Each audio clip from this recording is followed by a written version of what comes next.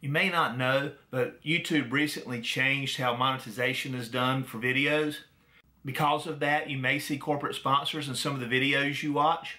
I want you to rest assured that you will never see corporate sponsors in my videos.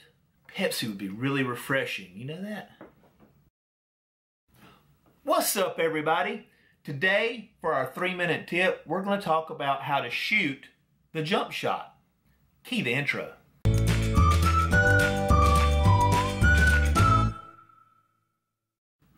For me personally, the jump shot is one of the harder breaths to get. It has to do with the timing of the shot and the fact that the defender is usually in front of the ball handler. So it takes some practice and some skill to, to pull this image off.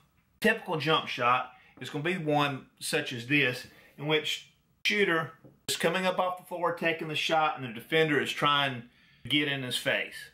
Without the defender, there's no conflict in the shot, and it's a little less interesting, although it does make good photos of one particular player. This particular photo, you see the shooter and then the defender coming into the shooter's framed by one of his own players on the right hand side of the photo here.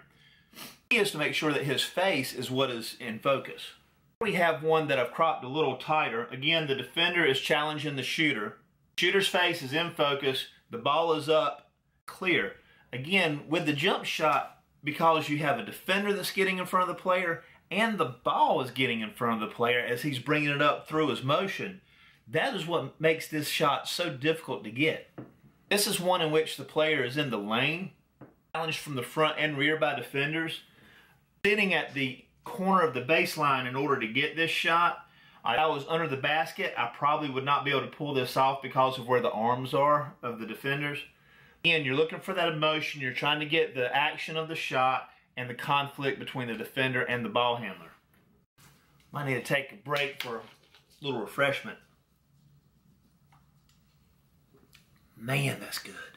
This is another one. This is actually a couple of frames after the front, the shot you just saw. It's going up. You've got a profile shot of him, and he's you can see he's pretty close to the basket.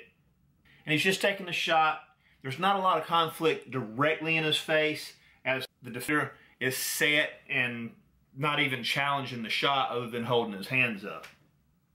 Here's one in which one of the post players is doing a little left hand hook. Again, the you have some conflict because the defender is on the shooter, but the shooter is very well the subject of the photo here. As you've got his face, the ball is on his hand, and you can see his focus on the shot. Here's one that's off of a dribble drive. Again, it's a shot. This is not really a jump shot, but it is a shot. The player's being challenged from the rear as he drove through the lane and is about to put the ball up to the basket.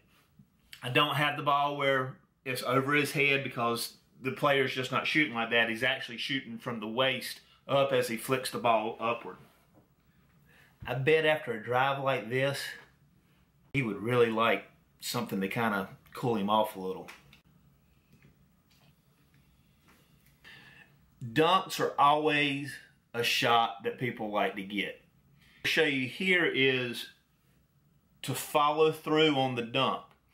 I don't have uh, shots after this sequence I'm about to show you, but many times after a dunk, there's going to be a lot of emotion, that comes from the player, and you want to make sure you capture it all the way through, including afterwards.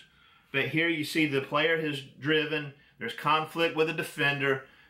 You have four of the defensive team watching him as he's driven through the lane. Then the next sequence, he's powered back with the ball. Again, you have the defender that's challenging the shot, and then he follows through with the dunk. The defender is missed the power, the emotion in the face. That's what you're looking for on the jump shot in any shot. Just to get the conflict, the player with the ball in focus, and the ball in the photo in most cases. And if you enjoyed this video, make sure you subscribe. That's going to help with this whole YouTube monetization thing. And I've got videos here and here that you may enjoy watching as well. See you next time. You know, making these videos is about as much work as it is playing basketball. Sure could use a Pepsi right now.